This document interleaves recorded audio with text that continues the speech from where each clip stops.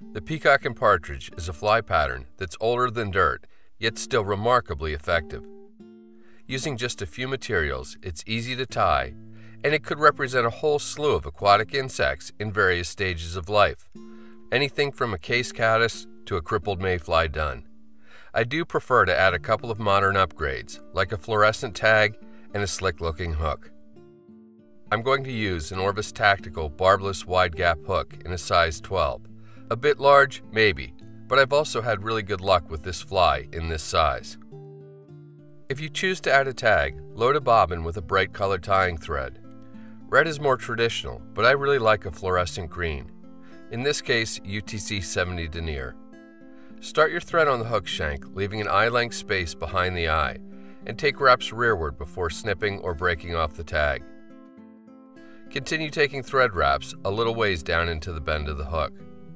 The distance between this point and the straight hook shank will determine the length of the tag.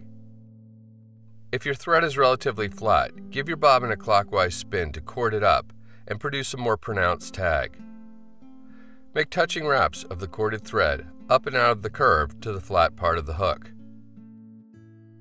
For the fly's rib, small gold ultra wire fits the bill. A 10 inch length is enough for numerous flies. Lay the wire against the near side of the hook and lightly secure it with two or three wraps before pulling it rearward so its end is where you started your tying thread. Then bind the wire to the near side of the hook with nice tight thread wraps. At the end of the wire, do a 5 or 6 turn whip finish and snip or cut your tying thread free. You can now switch over to black tying thread for the remainder of the fly. Here, UTC 70 denier. Start your thread at the original tie-in point and take a few wraps rearward before snipping or breaking off the tag. Peacock herl is used to form the body of the fly. Two or three herls should do it. About an inch back from their tips, secure the herls to the near side of the hook and take thread wraps rearward, binding them down all the way to the bend. You can then break or snip the brittle tips off. Leave your thread in this location and start making adjacent wraps up the hook shank with the herls. Wrapping behind the thread like this will help to keep the herls pressed together and create a more uniform body. When you reach the initial tie-in point, take two or three turns of tying thread to secure the herls. You can then break or snip them off close. Get hold of the gold wire and make even open spiral wraps over top of the peacock. By all means use counter wraps if you like. When you reach the front of the body, secure the wire with two or three tight wraps of tying thread. Then helicopter the wire to break it off close. Select a single natural Hungarian partridge feather from the neck area and pluck it free from the skin. The good, non fluffy lower fibers should be about as long as the entire hook. Strip off all the fluffy stuff from both sides of the stem and then get hold of the feather by its very tip. Pull the lower fibers down toward the butt end of the stem and hold them there.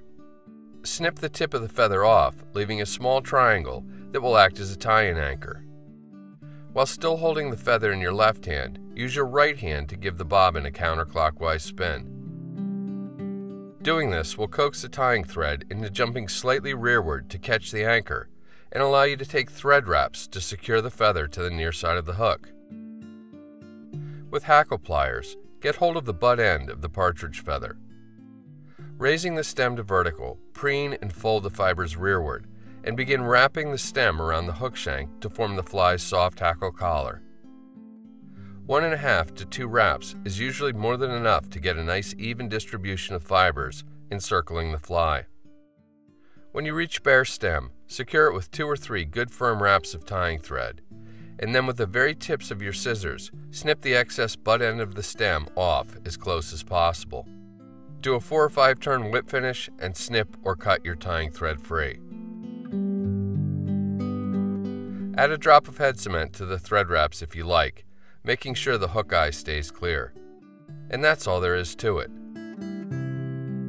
It's interesting how with just a few minor updates, an altogether ancient pattern can look as modern as anything else in your fly box.